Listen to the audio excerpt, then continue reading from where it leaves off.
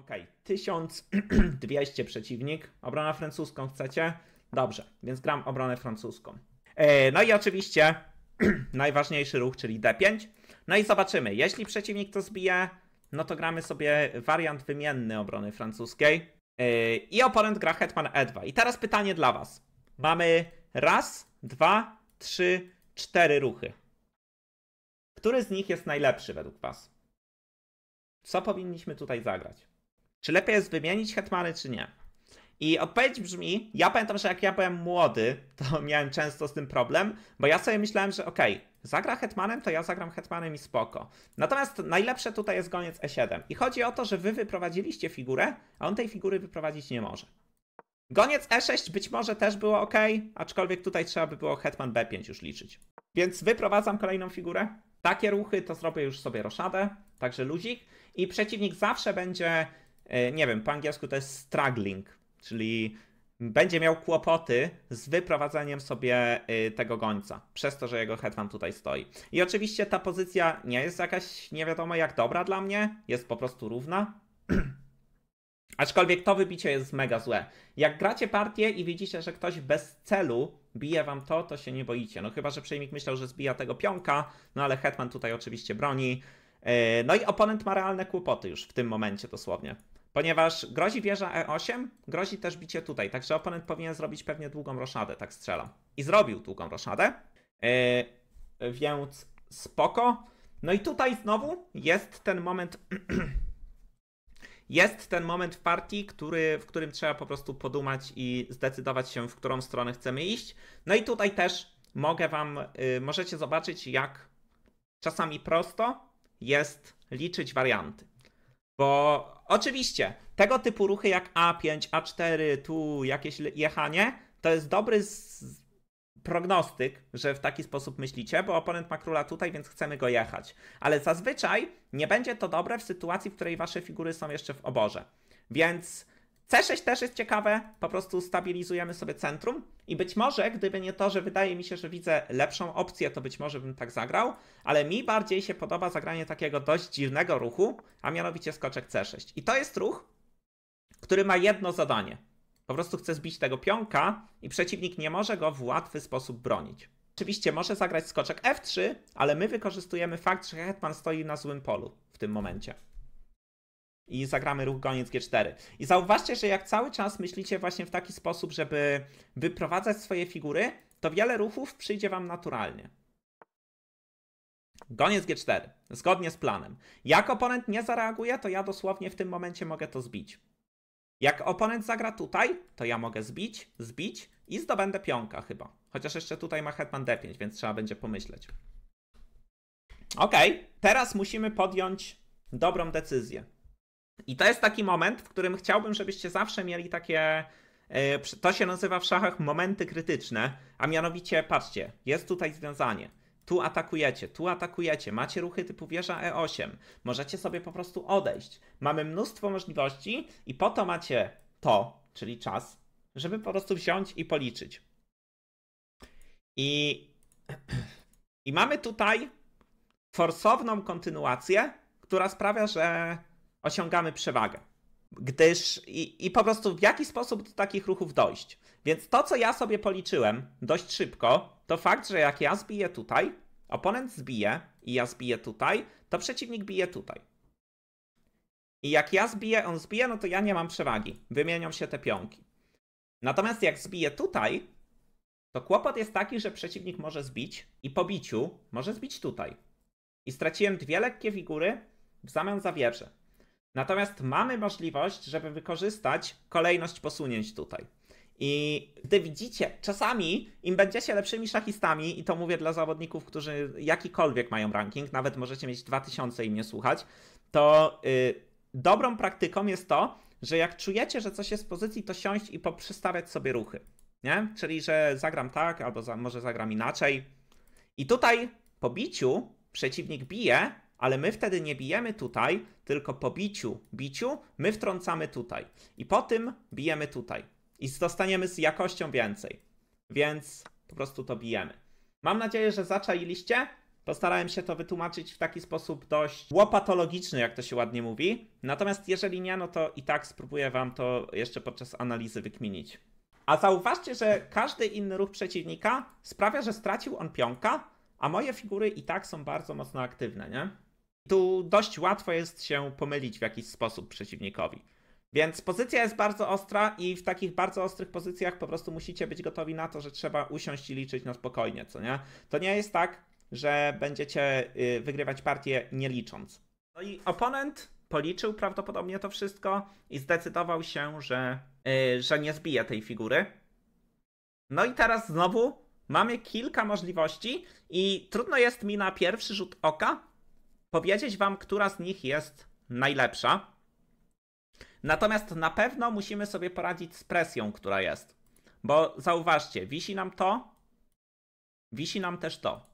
I tak, taki bezpieczny wybór, taki turbo, turbo bezpieczny, czasami jest tak, że nie chce nam się liczyć wariantów, więc gramy, to jest po prostu bicie, bicie i nie wiem, wsparcie tego skoczka, na przykład zagranie ruchu C5. Tylko tutaj nie do końca mi się podoba to, że otwieram mu linię G od razu. Mogę zbić tak. I słusznie zauważyliście, że grozi goniec G5. Tylko kłopot jest taki, że po tym biciu, jak on odbije na przykład pionkiem i ja zagram tutaj, to on ma F4. Ja wtedy to mogę zbić. W sumie może to jest ok. Czyli bicie, bicie, goniec G5, F4, bicie. Jak on bije tutaj, to ja wracam gońcem yy, i w sumie to zdobyłem figurę, czy jakość, więc to jest git. Mi na pierwszy rzut oka podobało się zagranie ruchu wieża E8. Yy, pod tym względem, że jak on odejdzie tutaj, to wtedy zbiję i zdobywam hetmana. Po tym ruchu, jak on zagra tutaj, to w sumie mogę nawet zagrać koniec F5 i chyba też jest git. Więc to już jest taki wybór, wiecie, jak siądziecie i jak po, jesteście w stanie liczyć warianty, to wybierzecie tutaj najlepszy. Według y, goniec G5 na start mi się nie podoba. Bo po goniec G5, jak on zbije hetmanem, my zbijemy, on zbije, my zbijemy, no i takie dziwne. No właśnie nie do końca łapie hetmana, gdyż on ma zawsze pionek F4. Dlatego ja zagram ruch wieża E8 i potem też wyjaśnię wam, dlaczego zdecydowałem się akurat na ten ruch, chociaż no starałem się teraz też wyjaśnić. Ale dużo łatwiej mi będzie, gdy będę w stanie yy, poprzestawiać warianty. Bo teraz nie widzę dobrej odpowiedzi dla przeciwnika, tak przyznam szczerze. Bo cokolwiek on zrobi, to wydaje mi się, że poniesie jakieś straty materialne. Bo gdzie ten hetman może odejść? Jak zagra tu, to ja biję i goniec G5 grozi. Jak odejdzie tutaj, to ja mogę zbić skoczkiem, atakuję hetmana, więc on musi odbić, ja biję tutaj i zdobywam jakość. Jak odejdzie tutaj natomiast, to mogę zagrać goniec F5, on wraca tutaj, no i mogę zagrać goniec C2.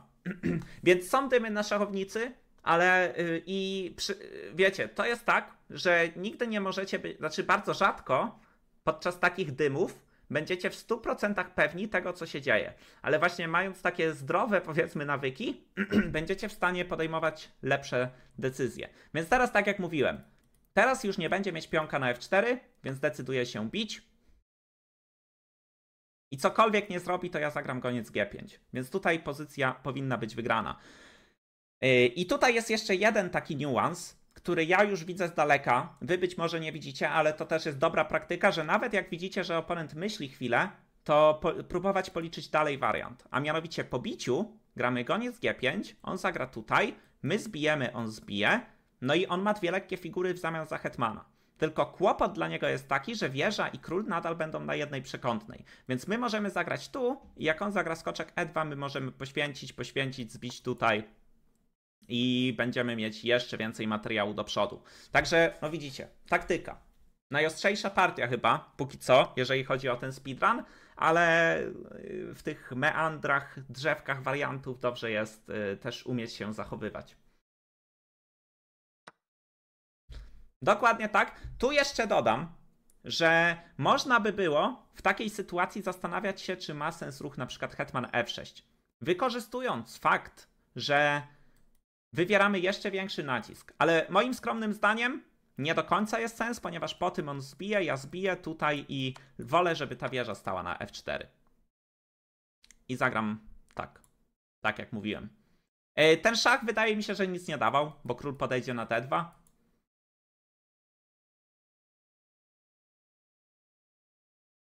To zresztą sobie przeglądniemy jeszcze e, w, podczas analizy.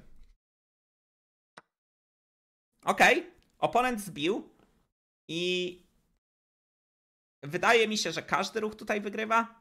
Natomiast, bo wiecie, można tutaj, tutaj, tutaj, bijemy z szachem, on odejdzie, damy szacha i szukać tam jakichś maciusiów. Natomiast według mnie najprostsze jest po prostu zbicie figury w jednym ruchu, bo grozimy matem, a jak chłop sobie zagra tutaj, to my możemy wrócić cały czas.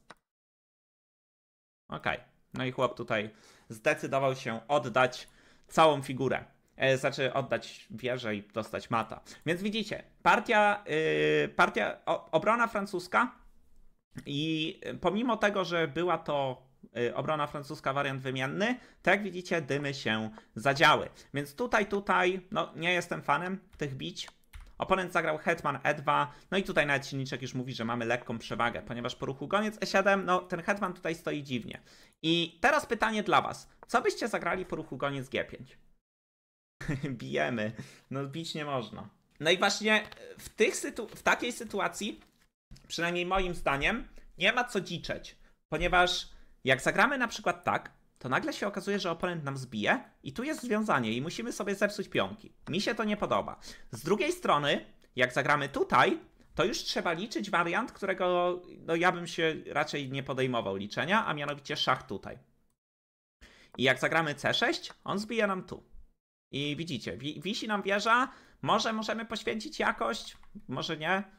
No nie wiem, natomiast wisi nam ten pionek. Komputer mówi, że to jest z jakiegoś powodu złe. Być może skoczek C6 i po biciu skoczek D4 i wszystko jest spoko, ale no trzeba by było po to, trzeba by było to liczyć. Według mnie to, co ja bym zagrał w tej sytuacji, to jest po prostu skoczek C6.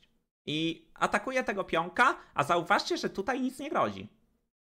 Więc nie musicie się bać tego, że on wam to zbije, bo wy nawet możecie wymienić hetmany i yellow. A możecie też zbić skoczkiem, i potem tu roszada i jest gitara, nie? Więc okej, okay. natomiast on zagrał inaczej. Ja zagrałem skoczek F6, on zagrał tutaj roszada i gwarantuję wam, że po jego kolejnym ruchu ocena silnika pójdzie bardzo do góry. Bo, bo chłop to zbił. No dobra, może, może nie poszło jakoś super bardzo do góry, ale pamiętajcie, że oddanie gońca za skoczka prawie nigdy wam się nie opłaca. Więc po biciu. E, mogę wam jedynie taka szybka cofka, że jak oglądacie moje e, te, jak oglądacie moje Tighted Tuesday'e, to czasami może widzicie, jak w tego typu strukturach, zaraz wam to postaram się pokazać, e, powiedzmy tutaj, tutaj, ja czasami w tych pozycjach gram tak, tak, tak i po H3 ja oddaję, oddaję. Ale oddaję to dlatego, że po pierwsze oponent zagrał H3, więc musiałem coś z tym zrobić, a po drugie dlatego, że ja mam wszystkie pionki na białych polach. Natomiast w sytuacji z partii, gdzie no, to nie ma sensu zupełnie, nie? Więc tu, tu, E, długa roszada, skoczek C6. Tu miałem kilka innych takich myśli, o których sobie myślałem, typu czy warto zagrać wieża E8, czy warto w ogóle zagrać C5. C5 mnie kusiło, ale stwierdziłem, że to jest trochę riski. I z ideą taką, że po biciu ja chcę zbić tutaj, tutaj, zagrać hetman A5 i atakować te słabości. Być może to było najlepsze, ale ja sobie po prostu wyprowadziłem figurę, bo widziałem, że po ruchu skoczek F3, pogoniec G4 oponent ma dużo takich realnych problemów, z którymi musiał się mierzyć. No i oponent zagrał H3, co było blunderem, ale trzeba było tutaj policzyć, bo zauważcie, bicie tutaj, oponent bije, tu, tu i nagle pozycja jest równa. Pomimo tego, że mogło nam się wydawać, że zdobyliśmy pionka. Dlaczego? No bo można by było policzyć tylko do momentu, że zdobywamy pionka i tyle. Dlatego zawsze starajcie się szukać innych możliwości albo liczyć krok dalej. Bo to jest realnie rzecz, którą myślę, że większość osób o rankingu, nie wiem, 1300-1400 podstawiłoby tutaj, że bijemy, bijemy i zdobywamy pionka. Koniec wariantu. Nie? Sami musicie sobie odpowiedzieć na pytanie, czy tak myślicie, czy nie. Druga rzecz, którą łatwo by było tutaj podstawić, to po prostu bicie, bicie, bicie i nagle po tym okazuje się, że to białe mają ogromną przewagę, bo grozi jeszcze to i to. Więc trzeba było policzyć. Ja policzyłem, że po tym mam bicie, bicie i bicie i zostaje z jakością więcej, więc spoko. Natomiast oponent zagrał hetman e3 i tu miałem kilka możliwości i starałem się to wam wytłumaczyć podczas partii, jaki był mój tok rozumowania. Natomiast koniec końców zdecydowałem się na wieżę e8. Wydaje mi się, że trochę dokładniejsze przy poprawnej grze mogło być bicie, I komp się raczej zgadza, ponieważ po tym mamy... Nie, chwila, co ja widziałem? Jednak takie bicie mi się bardziej podobało. Bo po biciu mamy to, to, to i to. I to liczyłem, co nie? Natomiast stwierdziłem, że po wieża E8 ten hetman nie bardzo ma się gdzie znaleźć. Wydaje mi się, że najlepsze dla przeciwnika było odejście tym hetmanem z tej przekątnej zagranie tutaj, ale tu doliczyłem, że minimum, które mam, to jest, wiecie, wzięcie tego pionka, wzięcie tego pionka i wydawało się to być spoko. E, natomiast oponent zagrał tutaj i teraz już nie ma tej możliwości, żeby zagrać F4, więc mogę zdobyć hetmana, tu, tu. No i to, co mówiłem, to to, że jeszcze tu przeciwnik mógłby się spróbować obronić, ale pyk, pyk, pyk, pyk, pyk, pyk i tyle. Więc oponent tutaj oddał, oddał i gdyby teraz obronił się przed matem i zagrał tutaj, to ja mogę zrobić cofkę i zdobywam tę wieżę. Także S. E, jeszcze tu napisałeś, że powierza E8 skoczek E4? Że tu? No ale to on to zbił.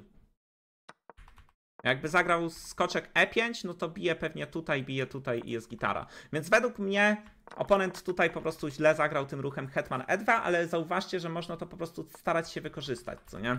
Więc, yy, więc gitarka.